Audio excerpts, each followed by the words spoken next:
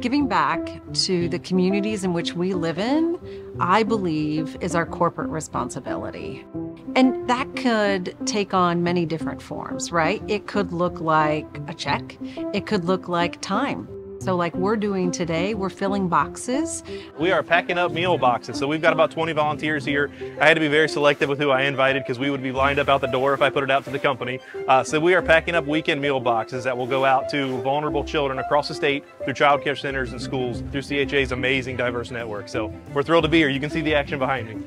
For CareSource, we know that um, not just addressing the health needs of the families that we serve, the members that we serve is important, but addressing uh, all the needs, right? We know that kids sitting in schools, if their bellies aren't full, they're not going to be able to concentrate and focus. We talk about healthcare with heart at CareSource a lot, right? Healthcare with heart, and it's not just a tagline. It's what we do. It's part of our mission. It's part of our nonprofit heart, our nonprofit roots. That's why we're here today. Like, so we're really excited to be part of the partnership.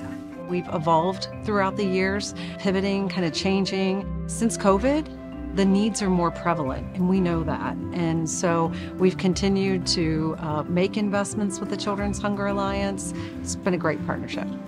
Again, you're talking about feeding hungry kids. You're talking about a diverse network across the state. So it's a no-brainer. CHA all the way.